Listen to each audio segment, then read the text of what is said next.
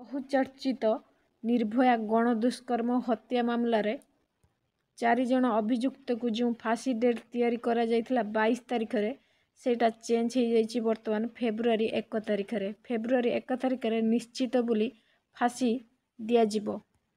ଫେବୃଆରୀ ଏକ ତାରିଖ ଦିନ ସକାଳ ଛଅଟାରେ ଫାଶୀ ଖୁଣ୍ଟରେ ଝୁଲିବେ ଏହି ଚାରିଜଣ ଶୁକ୍ରବାର ଦିନ ଦିଲ୍ଲୀରେ ପଟିଆଲା ହାଉସ୍ କୋର୍ଟରେ ପୁଣି ଥରେ ଚାରି ଜଣଙ୍କର ଦୋଷୀଙ୍କୁ ମୃତ୍ୟୁ ପରୱାନା ଜାରି କରିଛନ୍ତି ଆଜି ସକାଳେ ମୁକେଶ ସିଂର ଯେଉଁ ରାଜକ୍ଷମା ଆବେଦନ କରିଥିଲେ ରାଷ୍ଟ୍ରପତି ତାଙ୍କୁ ଖାରଜ କରିଦେବା ପରେ କୋର୍ଟ ପୁଣି ନୂଆ ତାରିଖ ଘୋଷଣା କରିଛନ୍ତି।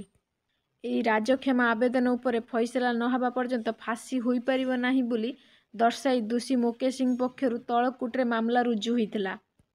କିନ୍ତୁ ଗତକାଲି ରାଜକ୍ଷମା ଆବେଦନ ସମ୍ପର୍କରେ ରାଷ୍ଟ୍ରପତିଙ୍କର ରାୟ କିଛି ନ ଆସିବାରୁ ବାଇଶ ତାରିଖରେ ମୃତ୍ୟୁ ପରୱାନା କାର୍ଯ୍ୟକାରୀ ହୋଇପାରିବ ନାହିଁ ବୋଲି ମନ୍ତବ୍ୟ ରଖି ତିହାର ଜେଲ୍ କର୍ତ୍ତୃପକ୍ଷ ଫାଶୀ ନ ଦେବା ପାଇଁ ରିପୋର୍ଟ ମାଗିଥିଲେ। ଗୁରୁବାର ଦିନ କୋର୍ଟ ନିର୍ଭୟା ମାମଲାରେ ଅନ୍ୟତମ ଦୋଷୀ ମୁକେଶ ସିଂର ଆବେଦନ ଉପରେ ଶୁଣାଣି କରି ତା'ର କ୍ଷମା ଆବେଦନ ରାଷ୍ଟ୍ରପତିଙ୍କ ପାଖରେ ବିଚାରାଧୀନ ଥିବାରୁ ଫାଶୀ ଉପରେ ରହିତାଦେଶ ଲଗାଇଥିଲେ। ପୂର୍ବରୁ ତିନି ଦୋଷୀଙ୍କୁ ବାଇଶ ତାରିଖରେ ଫାଶୀ ଦେବା ପାଇଁ ଡେଥ୍ ୱାରେଣ୍ଟ ଜାରି ହୋଇଥିଲା। କୋର୍ଟ ତିହାର ଜେଲ୍ ପ୍ରଶାସନ ପକ୍ଷରୁ ଶୁକ୍ରବାର ସୁଦ୍ଧା ଫାଶୀ ସଂକ୍ରାନ୍ତ ସବିଶେଷ ରିପୋର୍ଟ ଦାଖଲ କରିବା ପାଇଁ କହିଥିଲେ। କିନ୍ତୁ ଏହାପରେ ତିହାର ଜେଲ୍ କର୍ତ୍ତୃପକ୍ଷ ଦିଲ୍ଲୀ ସରକାରଙ୍କୁ ଚିଠି ଲେଖି ଫାଶୀ ପାଇଁ ନୂଆ ତାରିଖ ମାଗିଥିଲେ। ଆଜି ମୁକେଶ ସିଂର ରାଜକ୍ଷମା ଆବେଦନ ଖାରଜ ନେଇ ବିଜ୍ଞପ୍ତି ପ୍ରକାଶ ପାଇବା ପରେ ପଟିଆଲା ହାଉସ୍ କୋର୍ଟ ଫେବୃଆରୀ ଏକ ତାରିଖକୁ ନୂତନ ଫାଶୀ ଘୋଷଣା କରିଛନ୍ତି। ଗତକାଲି ଚାରି ଜଣଙ୍କ ମଧ୍ୟରୁ ଦୋଷୀ ମୁକେଶ ସିଂର ରାଜକ୍ଷମା ଆବେଦନ ଉପରେ ନିଷ୍ପତ୍ତି ଆସିନଥିବାରୁ ତାହା ନାମରେ ଜାରି କରାଯାଇଥିବା ମୃତ୍ୟୁ ପରୱାନା ସ୍ଥଗିତ ରହିଥିଲା। ତେଣେ ଜେଲ୍ ମାନୁଆଲରେ ଥିବା ନିୟମ ଅନୁଯାୟୀ ରାଜକ୍ଷମା ଆବେଦନ ଉପରେ ନିଶ୍ଚିତ ଆସିବାର ନିଷ୍ପତ୍ତି ଆସିବାର ଚଉଦ ଦିନ ପରେ ଦୋଷୀକୁ ଫାଶୀ ଦିଆଯାଇପାରିବ। ଫଳରେ ଜାନୁଆରୀ ବାଇଶରେ ନିର୍ଭୟା ଦୋଷୀ ଫାଶୀ ନ ପାଇବା ପାଇଁ ଏକ ପ୍ରକାର ନିଶ୍ଚିତ ହୋଇଯାଇଥିଲା। ମୁକେଶ ସିଂ ପକ୍ଷରୁ ମୃତ୍ୟୁ ପରୱାନା ପ୍ରତ୍ୟାହାର ଲାଗି କରାଯାଇଥିବା ଆବେଦନ ଉପରେ ଶୁଣାଣି କରି ଟ୍ରାଏଲ୍ କୋର୍ଟର ବିଚାରପତି କହିଥିଲେ କି ମୁଁ ଜାରି ହୋଇଥିବା ମୃତ୍ୟୁ ପରୱାନାର ସମୀକ୍ଷା କରୁନାହିଁ।